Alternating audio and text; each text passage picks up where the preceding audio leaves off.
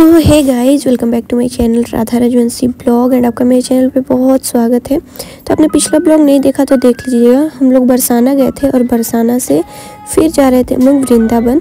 तो बरसाना से जो वृंदावन है, वो काफ़ी दूर है, बहुत ज़्यादा दूर है।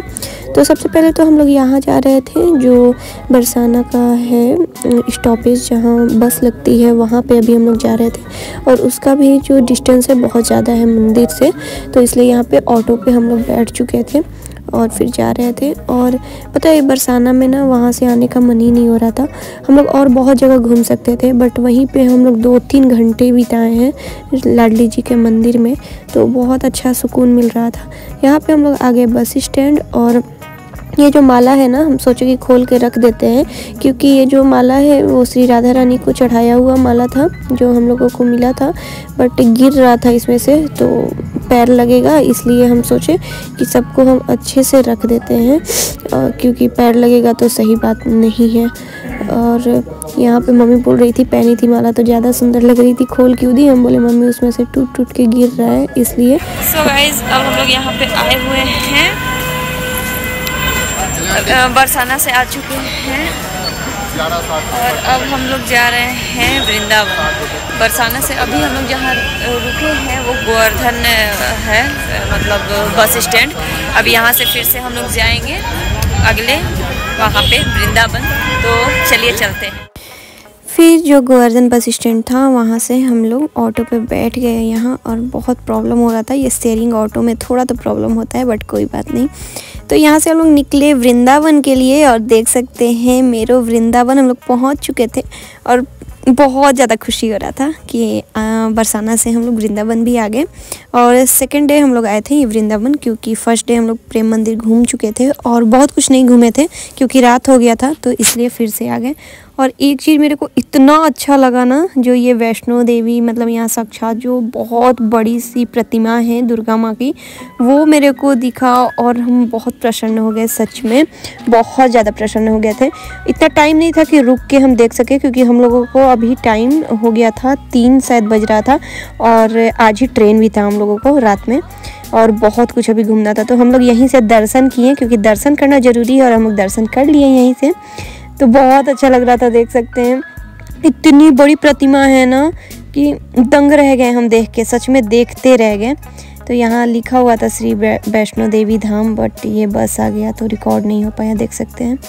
तो बहुत अच्छा लगा, देख सकते हैं। आप लोग भी दर्शन कर लीजिए माता रानी का, और माता रानी सबका भला करे, पीछे से मेरा भी भला कर दे।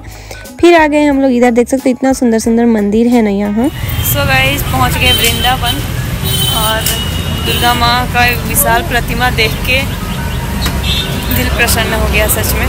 बहुत अच्छा लगा। और अब देखते हैं कहाँ जाते हैं, वो आपको देखने मिलेगा। अगर मंदिर में देखिए कभी कभी क्या होता है कि मंदिर में नहीं हो पाता है रिकॉर्ड कुछ भी, मेरे से नहीं हो पाता है तो शायद नहीं शेयर कर पाए कुछ भी। बट जितना हो पाया, हम ज़रूर आप लोगों के साथ शेयर करेंगे।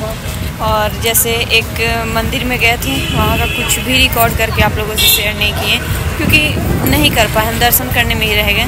तो इसलिए वैसे ही आज देखिए आप लोगों के साथ मतलब रिकॉर्ड करके दिखा पाते हैं या नहीं दिखा पाते हैं तो इसलिए चलिए चलते हैं। फिर यहाँ पे इतना सुंदर ये बहुत ही बड़ा सा मंदिर था, बहुत पुराना बहुत पुराना।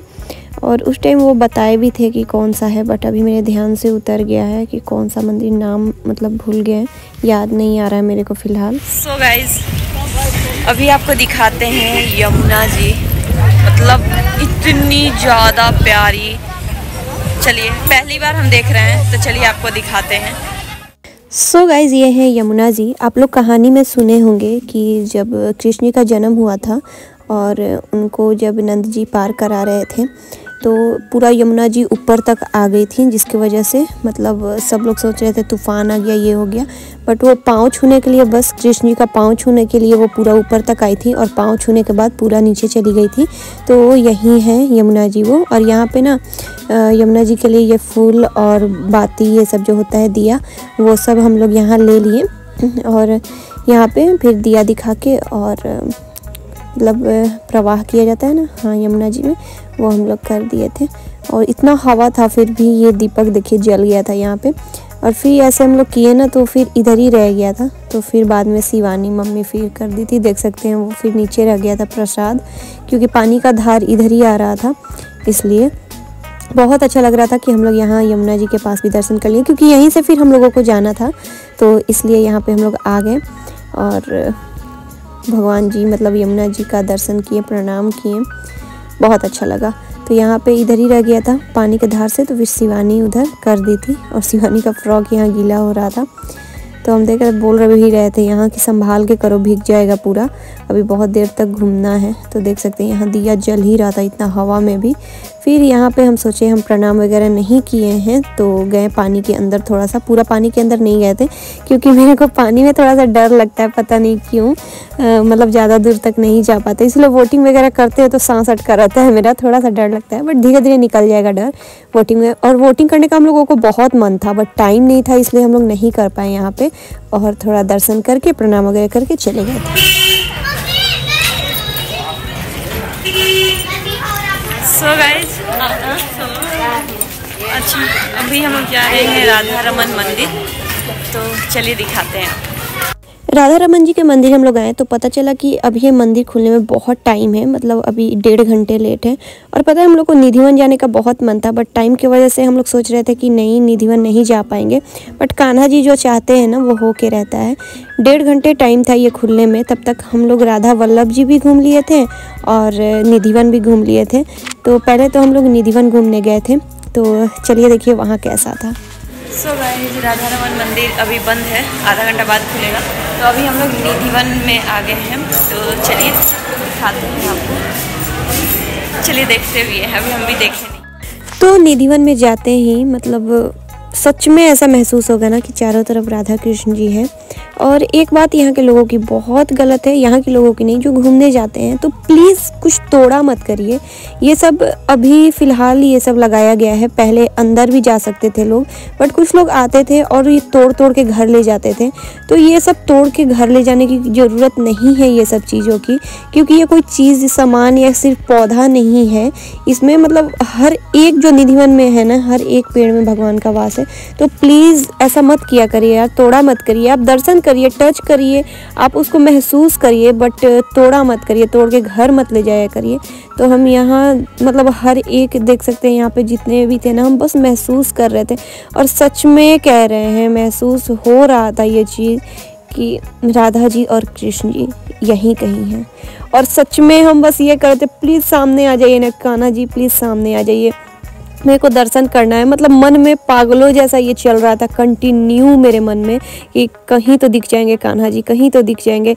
यहाँ तक कि हम होटल में भी थे ना तो हम बाहर निकल रहे थे जब रात में तो ऐसा लग रहा था कहीं कान्हा जी दिख जाते, काश ऐसा महसूस हो रहा था।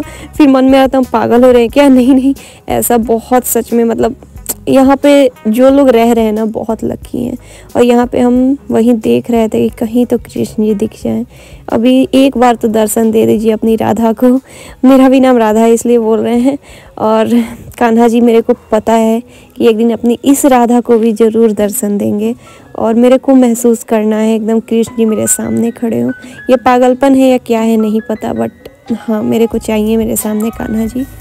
फिर यहाँ माना जाता है इस तरीके से घर बनाने का कुछ है जो मेरे को पूरे तरीके से नहीं पता तो इसलिए हम आपको वीडियो में नहीं बता पाएँगे।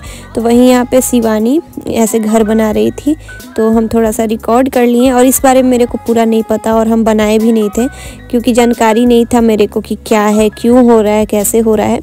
जानकारी लेके जाएँगे नेक्स्ट टाइम तो ज़रूर हम भी बनाएँगे और ऐसा करेंगे। बहुत लोग बना रहे थे तो यहाँ शिवानी का भी मन हो रहा था तो वो भी जाके इस तरीके से बनाई। अपने हिसाब से बना लेता है इंसान। देख सकते हैं कितने लोग बनाए हुए थे बड़े बड़े पत्थरों से हर एक चीज़ से तो अच्छा भी लग रहा था।